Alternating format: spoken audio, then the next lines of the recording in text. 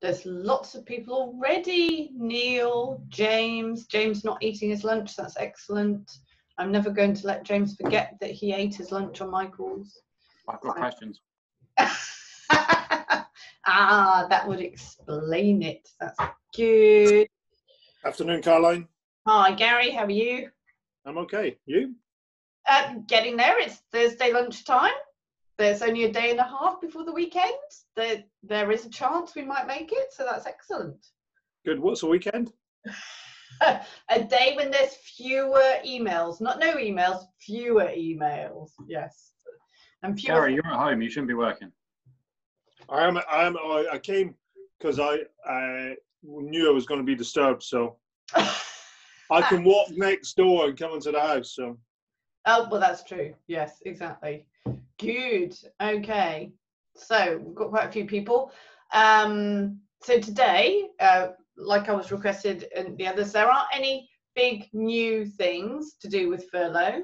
Um, there's lots and lots of lovely horror stories to regale you with about things people have done where you go off, you think, really, why did you think that was suitable?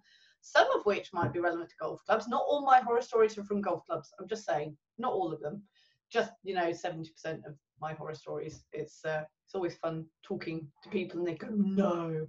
Um, so what have we got going on at the moment? Okay, so um, this is not furlough. Uh, this is about interactions with employees. Okay, so members of staff amongst themselves, particularly in F&B, talk on WhatsApp. I know a lot of them do their scheduling, their rotas on WhatsApp. We've just had a private sector company who we were working with on an ad hoc basis. Um, we were going through a, a disciplinary process um, and the lady in question has resigned and now filed a sexual harassment claim against her boss because on their WhatsApp group, she ha- he had been sharing hardcore porn with her. Brilliant! I he's like, but but it was two way, and she was sharing stuff with me, and I was sharing stuff with her, and you know it was all fine and everything, and it's like it is never ever fine to share anything like hardcore porn with your employees. I am not talking to you guys because guys, I think all club managers, club managers are not the problem. House managers are the potential problem here. They are the ones doing it. We have had over the years quite a few house managers who've been inappropriate with their female staff if they fancied them. We haven't had, it's strange actually, you would have thought nowadays in the enlightened time there would have been inappropriate behaviour with boys as well. We haven't had that. I don't I'm not looking forward to that, but I'm just saying it's usually a male house manager being inappropriate with female employees just to make sure that all your staff, certainly all your managerial staff, understand that while they might think it's okay, do not send anything that you would not want to show your mother or your grandmother on your phone. Okay, just don't do it. Just if you want to send them something separately, do it on a di- at least a different way. But actually, no, don't send it separately. Just don't do it. If they are an employee, they're an employee, and they can sue you two bits. So this guy, she was only she'd only been there two years, three months. We could have fired her back in January and had no comeback because he started this process to get rid of her gross misconduct, and there was gross misconduct, but not anymore, he now has to do a settlement agreement of at least a year's pay to make this go away. Because he did send it and she's got proof. And it really, and Kathy's read what it is that she has, and we won't go into details, but it really is, really is hardcore. So, um, so much fun this job. It's great.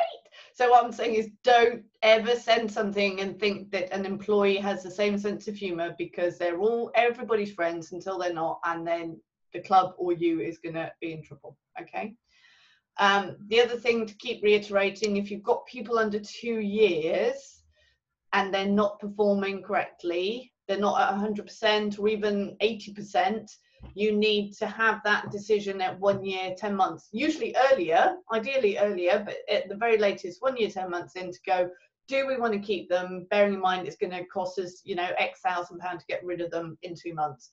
Actually, no, let's just part company now and move on. There's been a lot because of the the uh, unusual coronavirus situation. There's been a lot of people who've been put on furlough, and then people have come back to us and said, actually, they were pretty rubbish beforehand. Can I get rid of them now? But they're over the just over two years. Sometimes two years, one month over. It's like if we'd had this conversation two months ago, you could have got rid of them really easily, really cheaply. Now it's going to take a lot more money. Okay. Um, James, James, you had some questions. Do you want to ask some questions? Yeah, just two. Um, one of them is for people that we're keeping on furlough through through past into August. Just need to send them another extension letter to say it's carrying on as per yeah. the other one. Yeah, and if you're if any of you are changing the amount you're paying them, to give them a month, really a month's notice, so that people can adjust their spending. Because if they think they're getting 100% and you're only going to be able to pay them 80% because for whatever reason you're going down, then you need to let them know as much as possible, not get to the end of July, for example, and tell them with the pay slip, oh, by the way, we only paid you 80% for July. But, Okay. Okay. Uh, second one is obviously shielding ends at the end of this month, so we've got an employee who is um, shielding, um, and so if I say to him, obviously look at ends, so you're coming back to work on August first. When he goes, uh, no, I don't want to, is it we can we can then offer him actually you can stay on furlough, that's fine. Is that that's okay? Is it? Yes, yes, and no. In as much that it would be, what what's he got? That's why is he shielding? His partner's son is uh, severely disabled. Okay, so yes, you absolutely can leave them on furlough for as long as you can afford to leave them on furlough. Um, all children are supposed to be back in education in September as normal, so there wouldn't be any shielding then. So at the very latest in September, he would be expected to come back Mhm. because all children, no matter whether they're shielding or not, are supposed to be back at school. He's Um, the same person we've had emails about as well. haven't Yeah, um, and it's then also making sure that your risk assessments and your COVID policy about social distancing is is solid. I mean, it needs to be solid anyway. We have no idea whether there's going to be personal injury claims on this. Um, so that when he does come back and he's still going to be nervous, it's like, okay, but you're going to be working here. This is how we're going to protect you. We're going to disinfect, blah blah blah. So you've got all that to let him know. Yes, you can stay on furlough for now, but we would like to see you back in September. And by the way, here are all our risk assessments and policy on this. Yeah. Thank you. Yeah. Okay. Um, greenkeepers. Ah, okay. So this has come out as well again because obviously we're we're talking to some of you quite a lot, some of you not very much. But the the if you have any health and safety infringements from any of your staff, we need to jump on those really quickly. I'm just going to put it out there. The ones that do the health and safety infringements are usually the ones we want to get rid of, but we don't have anything particularly bad um, from them. There's not particularly bad performance. It's not great performance, but it's not great. Uh, it's not bad, and then they've got a not a sort of medium attitude. They're not positive, but they're not awful. So there's nothing really to discipline them on. You don't really want to do a settlement agreement because it's going to get expensive. But if they have done something that is potential gross misconduct, we can at least get to a final written warning, if not actual dismissal with it. So we have um, a, a, a club where the one of the greenkeepers has not been following the rules for mowing, for cutting the grass. So those are things that need to be jumped on because, and don't don't think that you don't need to do it, and we need to do it at the time. So as soon as really, as soon as you discover it, ring us up and say this has happened. This is what we're going to do. Is that okay? Yes, it is. And then we can get into that disciplinary process really quickly. Like I said, we can't guarantee there'll be a dismissal, but don't sort of tell us three, four, five months afterwards. Oh yeah, back in January there were some things. Um, we have a, a club as well where the uh, head greenkeeper is off sick and is now claiming he's being bullied. Of course, of course, he's being bullied, even though he's been off for 12 months. He's being bullied all the time at the club. Um, but we've now got an external company in looking at the health and safety, and they're saying there's no COSHH, um, there's no risk assessments. All the things that he was responsible for are not in place, which is gross misconduct because he is responsible for health and safety for the Greens team. So we have that as an option to go down, which we are obviously taking, to then part companies with him, or at least to get him to agree to a reasonable settlement agreement so that he goes. But this has only come after sort of six weeks of talking to each other that suddenly this has come out. And it's like anything, particularly in the Greens teams, to be honest, it does tend to be in the Greens teams about health and safety infringements. Flag it up to us straight away so that we can advise whether it's going to be something we need to do. Okay, because you don't want to waste an opportunity to part company with somebody who really isn't performing properly. Okay. Um, okay, what other things have come up this week? So we've got uh, taking holiday whilst on furlough. Hopefully, I've said this enough. Um, but if you have got people still on furlough, make sure that they take any accrued holiday whilst they're on furlough. So you're only paying the top up amount so that you don't have when they come back that they say, right, I've got 20 days left to take. I'm going to take those 20 days now. You can reject a request for holiday. You absolutely can, but that doesn't mean that they won't take it. And then we've got to do a disciplinary, which is gross misconduct. Da, da. So it's just easy to pre- easier to preempt that by making sure they've taken all their accrued holiday to date. Okay, then they're not going to be so likely to want to go off on holiday. Okay, um, people refusing to come back from furlough, if they're shielding this month, is absolutely fine. Next month, they are supposed to be back at work. So it's making sure you've got your health and safety. Again, this is turning into a health and safety session, but um, having your health and safety in place, possibly with masks, if that's what they feel is going to keep them safe. Um, although masks for everybody else rather than for them, that's how it would work. But um, but getting that all set up um, the only exception to the, the kind of shielding going forward, which will have to be flexible on, are people with childcare responsibilities. And when I say people, I mean 95% of the time females, because you don't want to be parting company with them because they can't come back to work because of their childcare commitments, which they would normally have set up, but because of COVID, there are no holiday camps or very few because they're very limited on the number of children they can take. They can't take the 30 children in one group, they can only take 15 in a group. Okay, so you will have to be flexible on that until September. But like I said, in September, all children are supposed to be back to school at the normal time no matter what their parents say. It's just like taking the children out to go on holiday. They will be fined and prosecuted if the children are not in school when there's no lockdown. Okay. Um, okay. Any other questions at the moment? I would like to say Melanie's mask looks lovely. Oh, that is nice. Yeah, with owls and cats. Very nice. That's good. I've got mine on home. Um, I've got flowers on my one. So, and we, we're going to have some in the office because we don't need them in the office, masks in the office. But if we go to the post office to post stuff, we have to wear a mask to go to the post office. So there you go. Gary, you haven't got a question.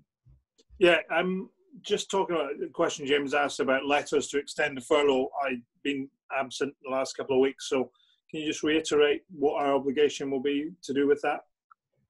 Um, yeah, so it's it's just to send an extension one out. Um, whether you're doing them flexible furlough, that's a slightly different letter. Um, but it's just to say whatever you said originally, and some people actually put an end date on it, and some people didn't. Okay, some people said until further notice, um, in which case you don't need to extend it. Um, if you said until the end of July, then you would need to go back and say further to that, and, and we've got the letter further to that previous letter we are now informing you you will be on furlough until the end of August, till the end of September, till the end of October. Yeah. Okay, thank you. And there shouldn't be any problem with that. I haven't found many people who are upset about being paid to do nothing. Um, just be aware, though, again, this came up in the private sector, that although uh, some of you have been very generous uh, paying people 100%, just be aware that they will not see that as generosity. Uh, they, they just won't. People are ungrateful, employees possibly doubly so. So don't assume that whatever you're going to do, you've got brownie points to play on because you paid them at 100%. They will see that as the default position because they haven't known anything different. The ones that were on 80% would have seen that if you said, oh, this month we'll do 100, there's a difference. They, they would appreciate that more. Uh, it's just in the private sector, we had a guy who was fired actually back at the beginning of February, was working his notice period and then lockdown came, so they reinstated him just for furlough. They weren't reinstating him as employee, but just for furlough. He was paid 100% for four months. We've now gone back to him because we're doing restructuring and saying, okay, we're going to have to let you go at the end of July. So really sorry, off you go. that's it. And he's like, no, you can't do that. And uh, you need to give me another month's notice at 100% because you reinstated me. So I'm not actually been fired. You've had four months free money what are you talking about? And he then also said, oh, and by the way, I worked all the way through April and I did all this work, which we're not, we don't know how he did it because he didn't have a company phone and he didn't have access to the company computer system. So how he was working is beyond us. But we saw that as a veiled threat to go and blackmail us with HMRC to say, oh, they claimed furlough money while I was still working. So what we've actually done is rolled back the furlough claim for him for April. So if he does go and inform on us, inform on us, um, there is no claim. Therefore, there's nothing illegal. And we told him to go to early conciliation because they will just laugh at him. You've been paid four months, 100%, and you want another month of free money yeah, get out of here. There are people who've actually been badly treated. So, um, but just be aware that that gratitude thing. Just don't assume that everybody is on the same level as you guys are. Saying, "Oh, well, aren't we generous doing this?" They'll be, "Yeah, that, that's what you had to do." We we see that as a, a default. So, uh, I'm just I'm just thinking this week this week's session I feel a little bit more jaded with life. I think I've had a few too many problems this week. Just saying. So uh, so I'd like some positive stuff next week. If we could only have positive conversations, that'd be really nice. So um, okay. Any other questions at the moment? Okay, we have, just to let you know, huge drum roll, and probably we need to have champagne on one of these calls. We now have 102 private member golf clubs on retainer. Yay! So, uh, so that's really good, and we should have at least one more on Monday uh, when they come back from holiday. They're allowed to go on holiday. They're going to sign up, so that's good. Um, and we've got 154 clients on retainer in total, which is really good. So lots of things to do. Um, so if you could just coordinate amongst yourselves when you're going to have your issues, that'd be really good so that we don't have to do all of them at the same time. That would be fantastic. Thank you. Um, yes. Okay. Uh, redundancies. If you need to do redundancies and we're not already talking with you, um, we need to have an initial Zoom call with you and anybody from the committee or the board who is going to be involved. So everybody's on the same page because I know committees that have been in corporate life or even worse, have run their own businesses, tend to have a different approach to this than we do, who are trying to keep you safe. They tend to have somebody else footing the bill, certainly in corporate world. So if they do it wrong, somebody else just pays it. It's not it's not a big deal. But actually, we're trying to avoid that. Um, and it takes about a week of prep time before we can actually start, and it's a three-week consultation period. So um, we've still got time before the end of October to get most of the notice period in. I'm thinking of the people who've got 12 weeks notice owed to them, but it is just making sure that you've got that all set up if you want to do it. It's not going to be ideal. It's not a problem. We can do restructuring at any point, but it's not going to be ideal if we start this on the 1st of October and then the committee says, but can't we use furlough? Well, yeah, but there's only October left now. There's not a lot of time left. If you if you are looking at finances, as opposed to you know getting rid of troublemakers. Um, the earlier we do it, the better, really.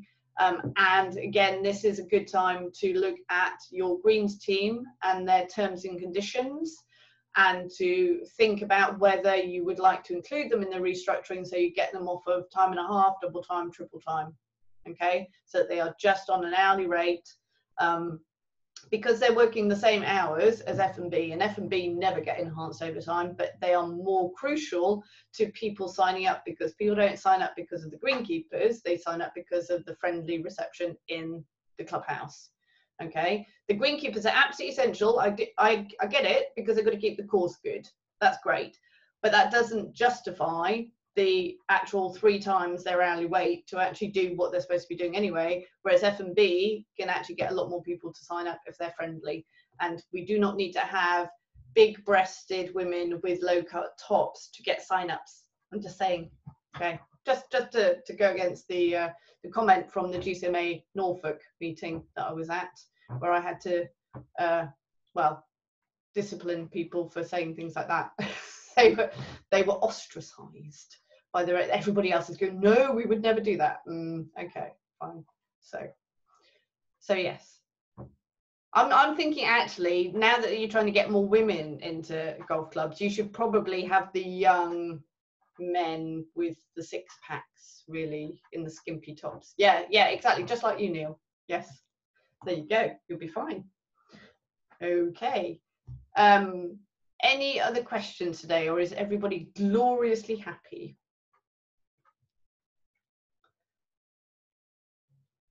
No? Okay. Good. Okay. Well, if there are any questions, absolutely just send us um, emails. Emails are still the quickest way to get hold of us at the moment. We can absolutely call you back, but the calls will just get logged at the moment, and then we will we do the triage system. Um, give us as much detail as you can in an email or a phone call so that we can prioritize you. Just saying I want to talk about something is not going to get you a priority call back. Talk, say I want to talk to you about gross misconduct, and don't make it up. But gross misconduct will get you a much quicker phone call. Okay. Um, otherwise, we'll see you all again next week with some more horror stories. Yay! Okay, take care. Bye.